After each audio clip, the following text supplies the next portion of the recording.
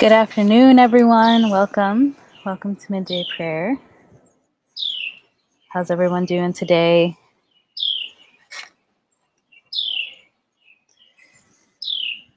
So, um, it looked like it was going to rain. I was a little nervous, but we're going to begin um, with a scripture reading this morning, uh, or this afternoon, sorry. Uh, the scripture reading will be from Isaiah Isaiah 58, verses 6 through 8.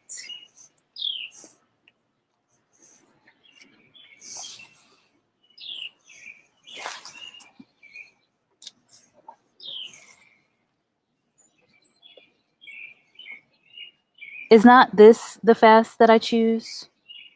To loose the bonds of injustice, to undo the thongs of the yoke, to let the oppressed go free, and to break every yoke? Is not to, is it not to share your bread with the hungry and bring the homeless poor into your house when you see the naked to cover them and not to hide yourself from your own kin? Then your light shall break forth like the dawn, and your healing shall spring up quickly. Your vindicator shall go before you. The glory of the Lord shall be your rear guard. Then you shall call, and the Lord will answer. You shall cry for help. And the Lord will say, here I am. I'll read it again. And then we'll have a slight conversation.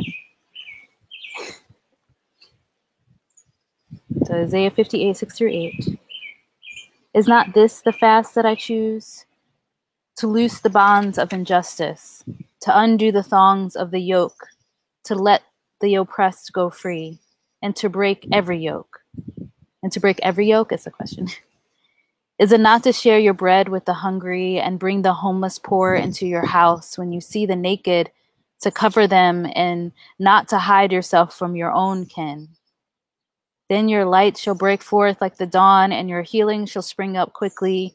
Your vindicator shall go before you. The glory of the Lord shall be your rear guard. Then you shall call, and the Lord will answer. You shall cry for help, and the Lord will say, Here I am.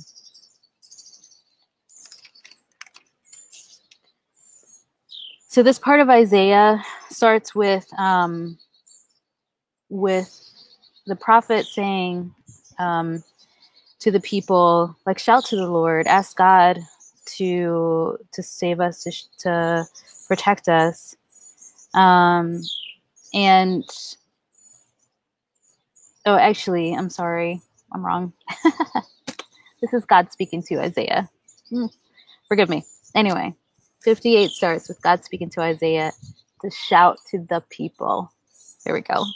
Do not hold back. Tell them what I am saying to them.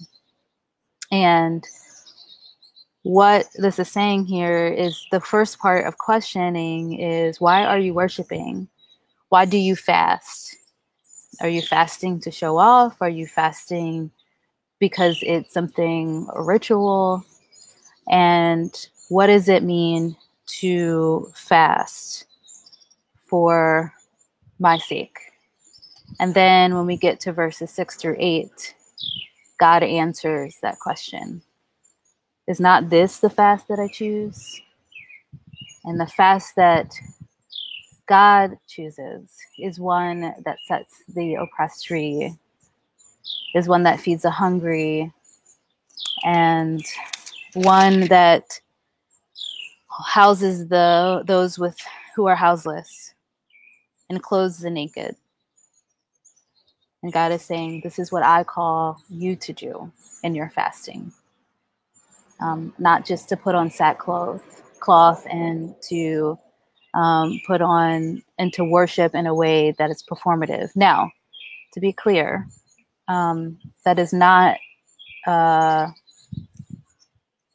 in no way uh, is this saying that the rituals or the spiritual aspects of mourning and fasting and praying are not valid within themselves. I think what God is saying here is that there are ways in which you are not serving me by loving one another and loving your neighbor. And this is what I'm calling you to. Um, so, thought that would be helpful. It is raining.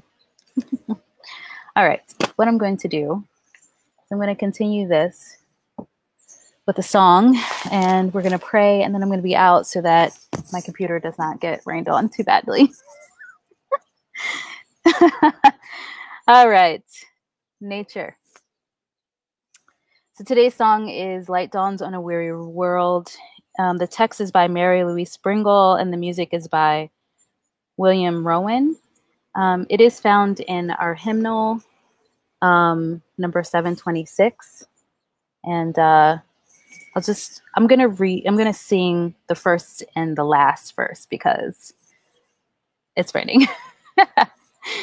okay. Let us begin our prayer with a song.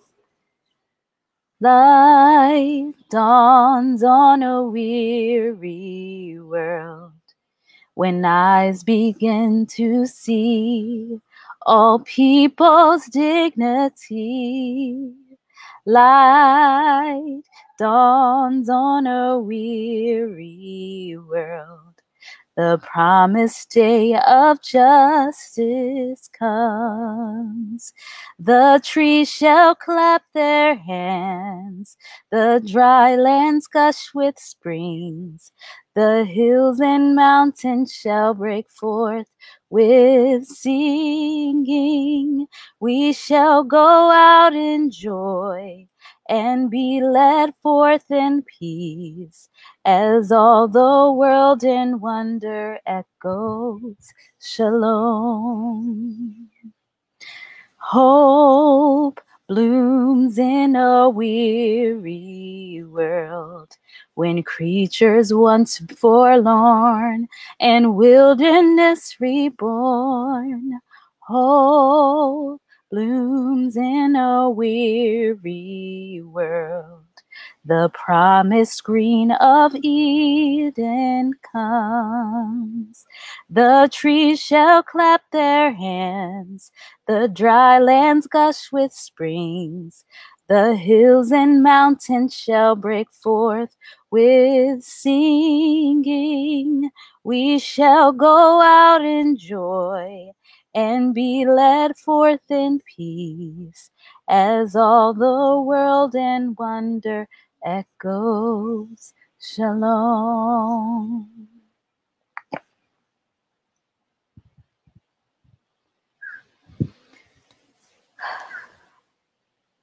Oh Lord, our world is weary.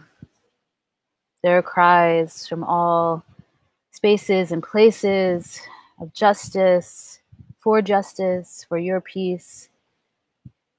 Let your light shine in those spaces. Let us see how we are connected, see how we are part of the work and your work in this world, to love one another, to be with one another, walk with one another,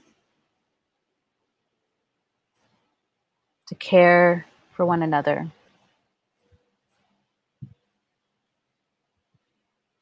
We pray for your calming spirit to be among us, for your presence to be made known, for your healing love to surround those in need of that love. Today, we especially lift up Janice Cressman Cash, David, Helen Tyler, Tom Raymond, Kristen, Barbara, Margaret Falcomer, Shelley McLaughlin, Laura Dareth, Terry, Ben Lehman, Howard Fales, Rebecca Neal, Catherine, Jeff, Jack Overton, Glenn Hardesty, Janelle Hargist, Kim Brady, Gail Tabling, Carol Brzezinski, and anyone else that we might be holding in our hearts now. We can name them here. You can type them in the comments.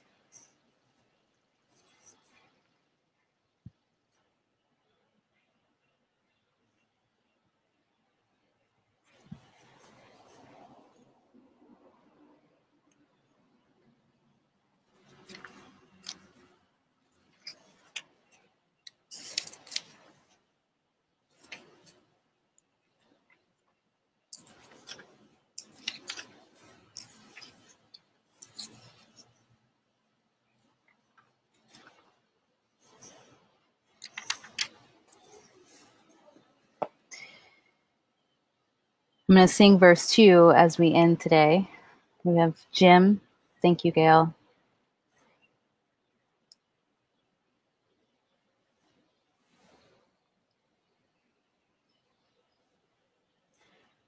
Love grows in a weary world when hungry hearts find bread and children's dreams are fed.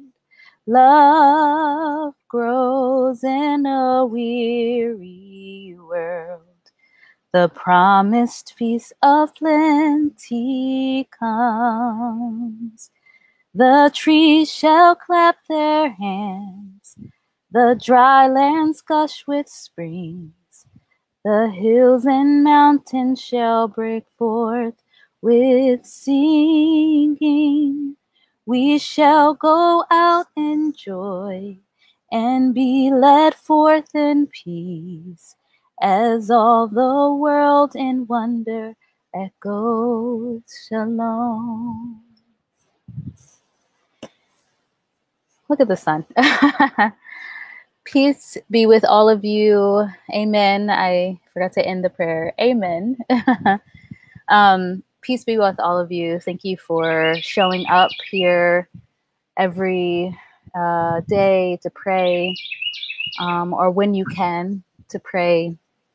This is a special time for all of us to keep praying, not just for um, ourselves, but for the world, for one another. Um, that God's justice will prevail and God's peace will be made known. Um, yeah.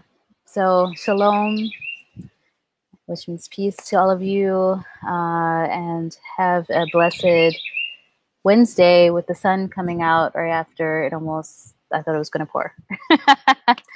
all right. God be with you. Peace.